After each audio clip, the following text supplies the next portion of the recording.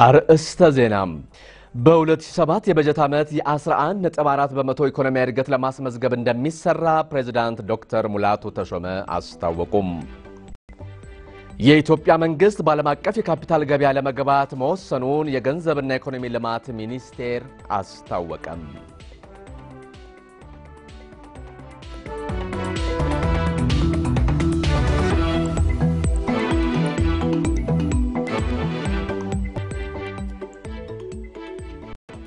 ይህ የኢትዮጵያ ብሮድካስቲንግ ኮርፖሬሽን ነው። ጤና ይስጥልኝ። ተመስገን በየነ ነኝ። የሰዓቱ ዜና እነሆ። በ2007 የበጀት ዓመት የ11.4 በመቶ ኢኮኖሚያዊ እድገት ለማስመዝገብ እንደሚሰራ ፕሬዚዳንት ዶክተር ሙላቱ ተሾመ አስታወቁ። ፕሬዚዳንቱ ዶክተር ሙላቱ የሕዝብ ተወካዮችና የፌዴሬሽን ምክር ቤት የጋራ ስብሰባን ሲከፍቱ እንደገለጹት የማኑፋክቸሪንግ ዘርፉን ለማሳደግ ትኩረት ይደረጋል ብለዋል። ኃላፊነት የሚሰማው ብዙሃን መገናኛ በሀገሪቱ እንዲጎለብትም ተከታታይ የማበረታቻና የእርምት ስራዎች እንደሚሰሩም አረጋግጧል። የሻዕቢያ መንግስት ለሚቃጣው ትንኮሳም ተመጣጣኝ አጸፋ ምላሽ እንደሚሰጥ ነው ፕሬዚዳንት ሙላቱ ያስታወቁት። ሞገስ መኮንን ዝርዝሩን ያቀርበዋል።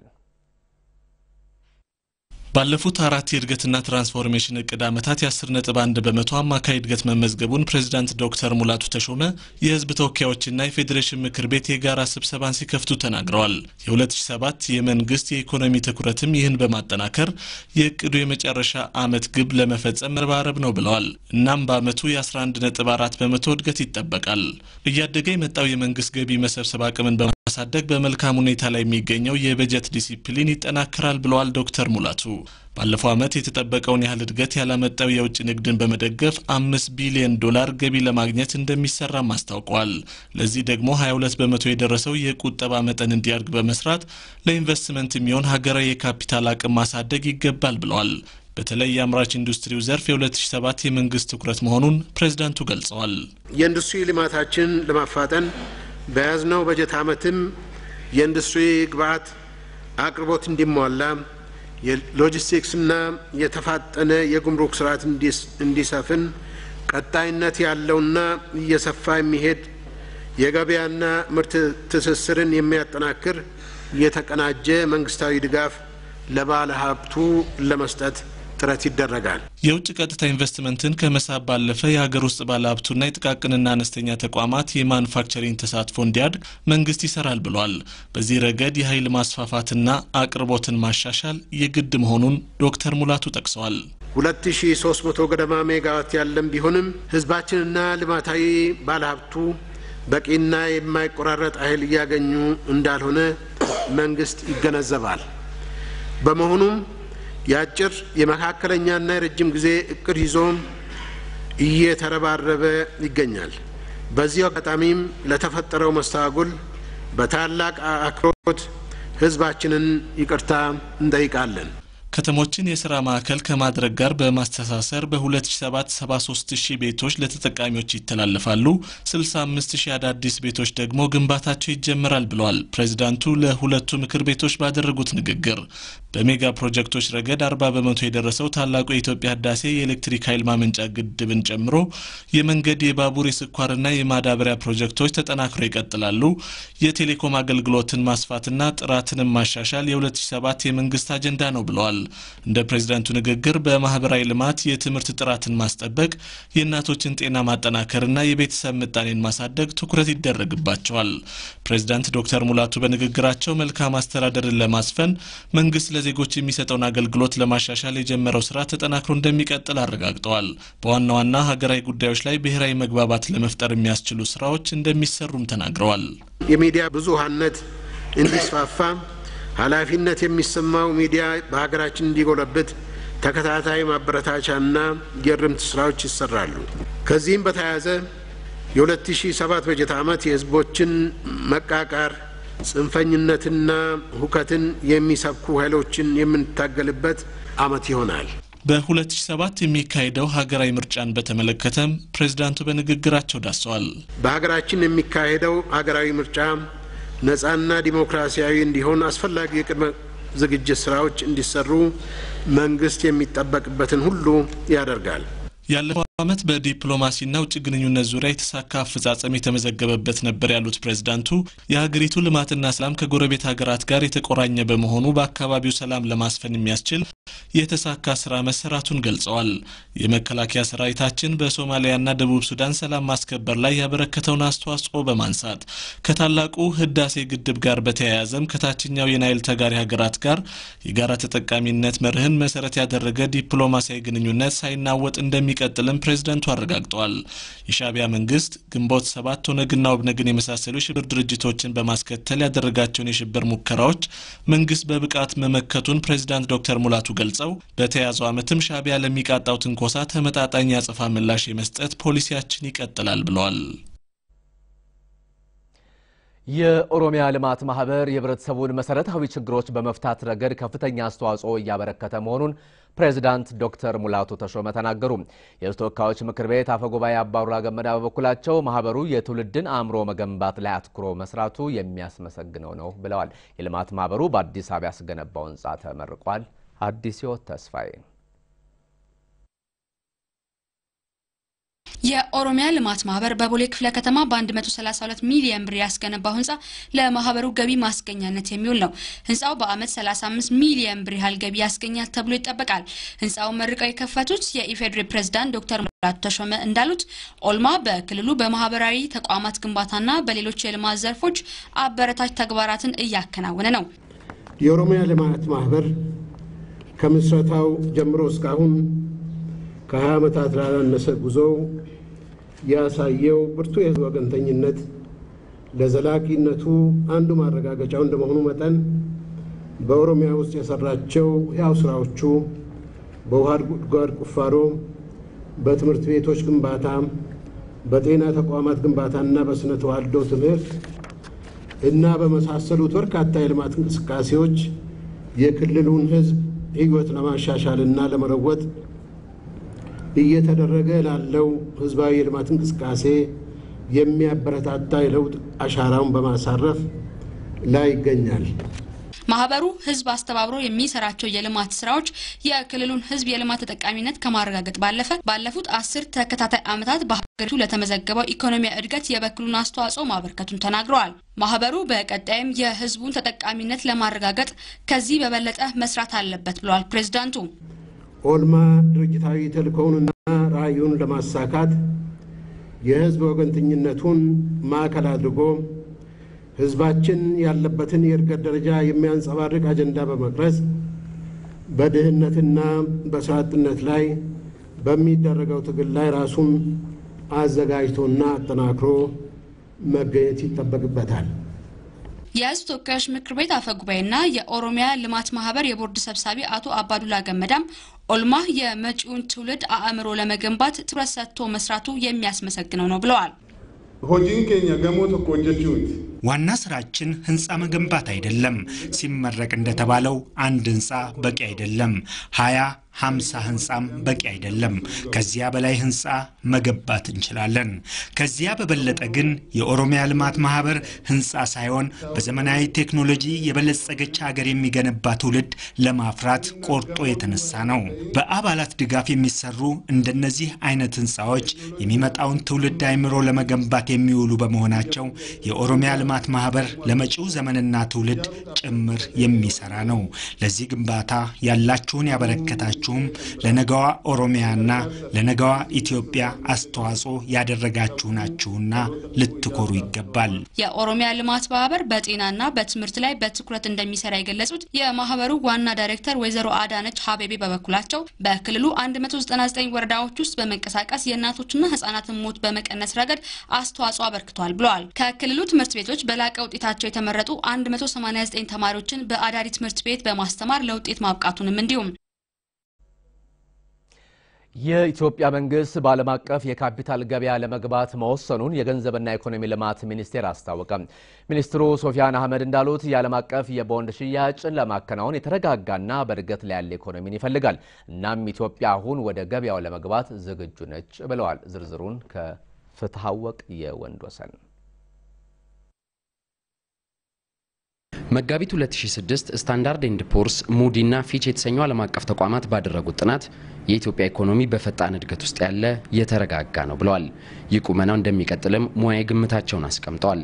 እናም የጥናቱን ውጤት መነሻ በማድረግና የኢትዮጵያን የኢኮኖሚ ምልከታ ለማሻሻል ወደ ዓለም አቀፍ የካፒታል ገበያ ተገብቷል። ኢትዮጵያ የዓለም የካፒታል ገበያን access ማድረግ ይቻል እንደሆነ ቦንድ issue በማድረግ ገንዘብ raise ለማድረግ መንግስት ወስኗል። የገንዘብና ኢኮኖሚ ልማት ሚኒስትሩ አቶ ሶፊያን አህመድ እንደሚሉት የኢትዮጵያ መንግስት ለዓለም ገበያ ቦንድ ይሸጣል። በገበያ ዋጋ የሚተመነው የወለድ መጠንም የኢኮኖሚውን ደረጃ ይነግራል። የዓለም አቀፍ ኩባንያዎችንም ቀልብም ይስባል። ሚኒስትሩ ወደ ዓለም አቀፍ የካፒታል ገበያ መቀላቀሉ ሁለት ጥቅሞች እንዳሉት ይናገራሉ።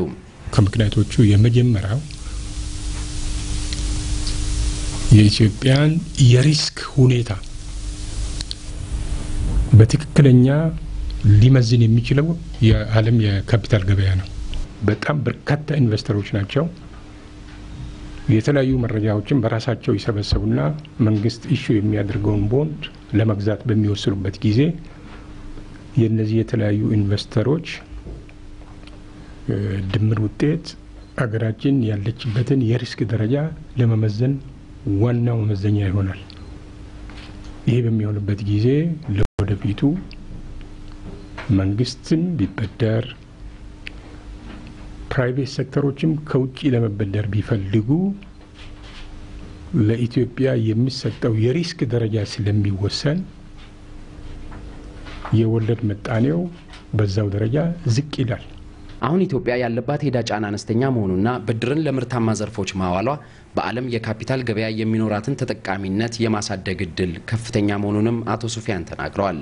እስከ ዛሬም የተበደርናቸው ወደፊትም በተለያየ ሁኔታ መንግስት የሚበደረው ለፍጆታ አይደለም፣ ለኢንቨስትመንት፣ ለሚለዩ ለሚታወቁ የመሰረተ ልማት ፕሮጀክቶች አዋጭነታቸው በጥናት ላይ ተመስርተው ትርፋማ የሆኑ አዋጭ ለሆኑ ፕሮጀክቶች ብቻ ነው የሚውሉት። ስለዚህ በእነዚህ ሁኔታ ሲደማመር የእዳ ጫና ያስከትላል የሚል ፍጹም ግምት የለኝም።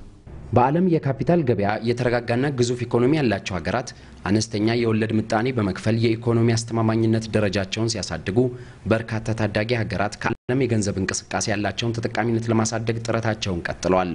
አሁን ኢትዮጵያም በዓለም የኢኮኖሚ እንቅስቃሴ ያላትን ሚና በማሳደግ ሰፋፊ የመሰረተ ልማት ስራዎችን ለማከናወንና የባለ ሀብቶች የፋይናንስ አቅምን ለማጎልበት እንደሚያግዛት ሚኒስትሩ ተናግረዋል። ይህ በእንዲህ እንዳለ የኢትዮጵያ ኢኮኖሚ በአስተማማኝና ቀጣይነት ያለው እድገት እያስመዘገበ እንደሚገኝ ዓለም አቀፉ የገንዘብ ተቋም አይኤምኤፍ አስታወቀ። አይኤምኤፍ ባለፈው በጀት ዓመት ሀገሪቱ ኢኮኖሚ ላይ ያካሄደውን ቅኝት በማጠናቀቅ ሪፖርቱን ይፋ አድርጓል። ሙሉቀን ታደገ ያቀርበዋል። ዓለም አቀፉ የገንዘብ ድርጅት አይኤምኤፍ በአውሮፓውያኑ 2013-2014 የኢትዮጵያ ኢኮኖሚ ላይ ያካሄደውን ቅኝት በማጠናቀቅ ሪፖርቱን ይፋ አድርጓል። የሀገሪቱ የቅርብ ጊዜያት ጥቅል ኢኮኖሚያዊ ሁኔታ ጠንካራና ጤናማ እየሆነ መምጣቱን በሪፖርቱ አብራርቷል። ሪፖርቱ ባለፈው ዓመት የሀገሪቱ ኢኮኖሚ በዋናነት በግብርናው በመንግስት በሚደገፉ የልማት ፕሮጀክቶችና በውጭ ቀጥተኛ የኢንቨስትመንቱ ዘርፍ በተመዘገቡ እድገቶች መደገፉን ይገልጻል።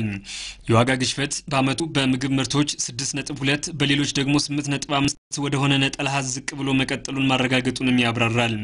መንግስት የተከተለው ጥብቅ የገንዘብ ፖሊሲ የዋጋ ንረትን በመቆጣጠር ረገድ ስኬት ላይ እንዲገኝ አግዟልም ነው ያለው ሪፖርቱ። በሌላ በኩል የሀገሪቱ የበጀት ጉድለት ከአጠቃላይ በጀት ውስጥ የሰባት በመቶ ድርሻ እንደነበረው የሚጠቅሰው ሪፖርቱ ይህም ከቀደመው ዓመት በተጨማሪነት በአንድ በመቶ አሻቅቧል ብሏል። አሁን በተያዘው በጀት ዓመት መንግስት ጉድለቱን ወደ ሶስት በመቶ ለማውረድ አቅዶ መንቀሳቀሱን አድንቋል። ድርጅቱ አጥንቼ የደረስኩበት ያለው ያለፈው በጀት ዓመት የኢትዮጵያ ጥቅል ኢኮኖሚያዊ እድገትም ዘጠኝ በመቶ ነው።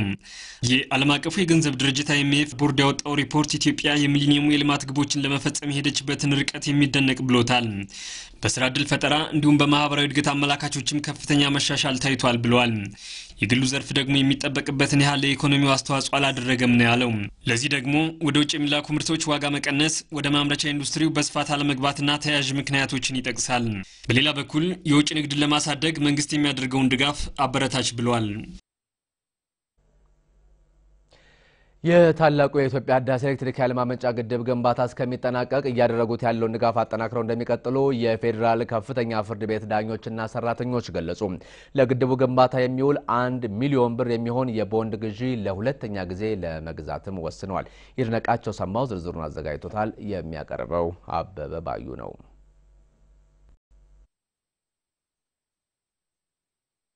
የፌዴራል ከፍተኛ ፍርድ ቤት ዳኞችና ሰራተኞች ለታላቁ የኢትዮጵያ ህዳሴ ኤሌክትሪክ ኃይል ማመንጫ ግድብ ግንባታ በመጀመሪያ ዙር ከ400 ሺህ ብር በላይ የቦንድ ግዢ ፈጽመዋል።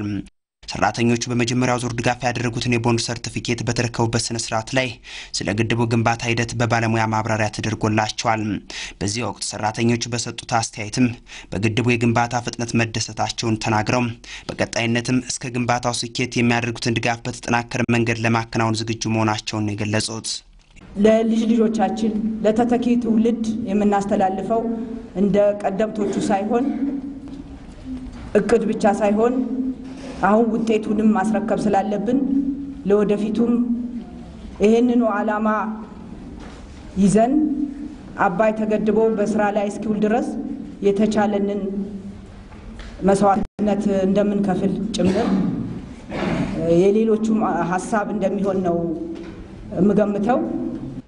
እኛ በዚህ ህይወት በዚህ ዘመን ይህንን ግድብ ገንብተን ሀገራችን ከድህነት ከችግር እንድትወጣ ማድረግ ያለብንን ሁሉ ጥረት ማድረግ ይጠበቅብናል።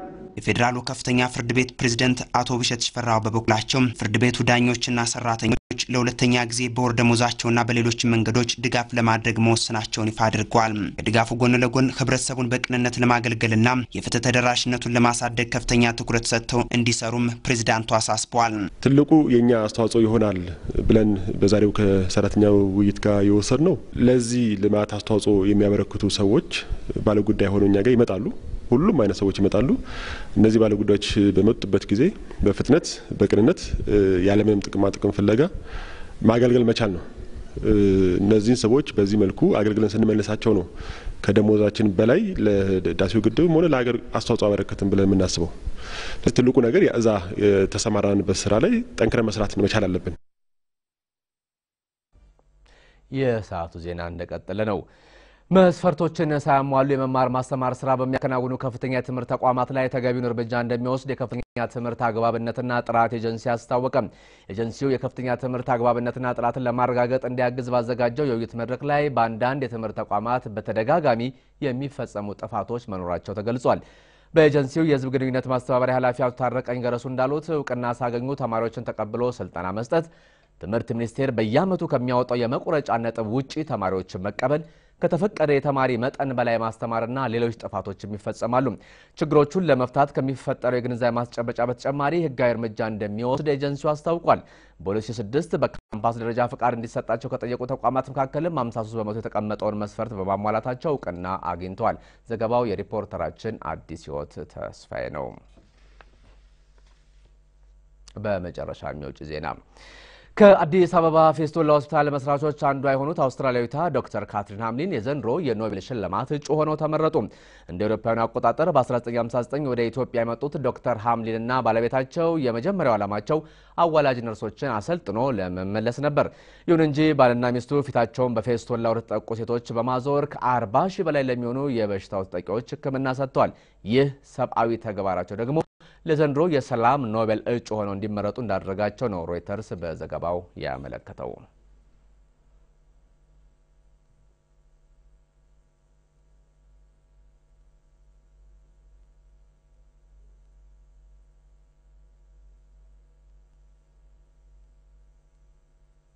ይህ የኢትዮጵያ ብሮድካስቲንግ ኮርፖሬሽን ነው። የሰዓቱን ዜና በዚህ ፈጸምን።